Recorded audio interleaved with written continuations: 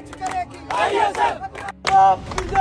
आज़ादी आज़ादी अस्सलाम वालेकुम वरहमतुल्लाहि वबरकातुहू। रात गए खालिद खुर्शीद साहब और तलबा ने मिल बैठ के एक प्रेस कॉन्फ्रेंस की। इस प्रेस कॉन्फ्रेंस में ये ऐलान किया गया कि हम जल्द तलबा तहरीक शुरू करने वाले हैं और इस मरतबा बाकायदा तौर पर तमाम के तमाम तलबा इकट्ठे होंगे। किस तारीख का ऐलान किया गया, इस हवाले से भी आपको बताएँगे। उससे पहले आप सरा ये मनासर देख लीजिए, जोशो खरोश भरे तलबा, उसके बाद कैसे भरपूर अंदाज में चार्ज हो गए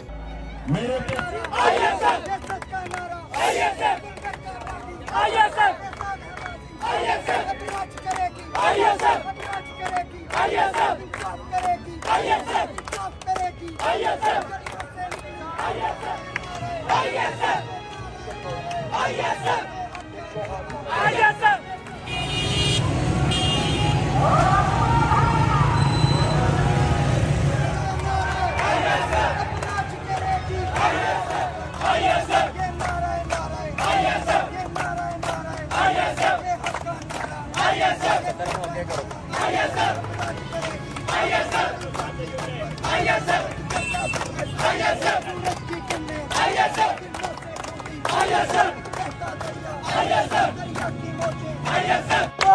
आज़ादी तू कैसे न देगा आज़ादी हम छीन के लेंगे आज़ादी ये प्यारी प्यारी आज़ादी ये जान से प्यारी आज़ादी। ये जिद हमारी। आज़ादी। ये जिद हमारी। आज़ादी।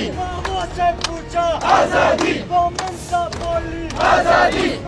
से पूछा। आज़ादी। वो इज़्ज़त बोली। आज़ादी। भाइयों से पूछा। आज़ादी। वो गैरत बोली। आज़ादी। जब बाप से पूछा। आज़ादी। वो शफकत बोली। आज़ादी। वो शफकत बोली। आज़ादी। ये राह कदम है। आज़ादी। के अंदर आज़ादी बसमीम या कनस्ताइन बाकायदा तौर पर इंसाफ यूथ विंग और Insaf student federation, all Pakistan की चीफ ऑर्गेनाइज़र खालिद खुर्शीद और साथ साथ सूबाई सदर के डायरेक्शन पे आज यकम अक्टूबर से तहरीक का ऐलान हुआ है, जिसके लिए पेशावर यूनिवर्सिटी ने बाकायदा तौर पर अपनी कोर कैबिनेट, अपनी वर्करों के हमरा अभी से ऐलान करने जा रहे हैं। कि इन यकम अक्टूबर के लिए हम भरपूर तैयारी करेंगे हम भरपूरी तैयारी के साथ निकलेंगे। हमने ये दिखाना है कि हान साहब को हमने कैसे निकलवाना है।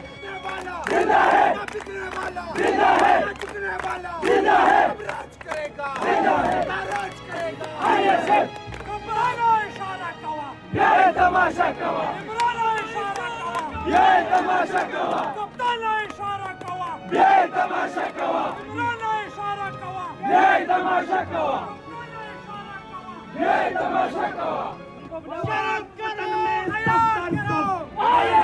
जी नाजिन इकराम आपने इनके नारे वगैरह देखे, कुछ मनासिब दिन के थे, कुछ रात के थे, जो कि आपने खुद मुलाहिजा की है। अब जो डेट दी गई है, वो अक्टूबर के महीने की दी गई है कि अगर तब से पहले लॉ एंड ऑर्डर की सिचुएशन बहाल नहीं होती, इमरान खान को रिहा नहीं किया जाता, बाकी पाकिस्तानियों के मसाइल हल नहीं होते, बिजली के टैक्सेस वगैरह तमाम के तमाम नहीं ख़त्म किए जाते अवाम के लिए भलाई का मामला नहीं किया जाता, हुकूमत चाहती नहीं है, तब तक हम अपने एहतजाज की तैयारी करते हैं और उसके बाद हम एहतजाज अपना रिकॉर्ड करवाएँगे। वीडियो आज की शेयर कीजिएगा नासरीन। आप आरा दीजिएगा, इस मरतबा क्या तलबा निकल पाएँगे। कमेंट कीजिएगा, शेयर कीजिए और सब्सक्राइब भी कीजिएगा।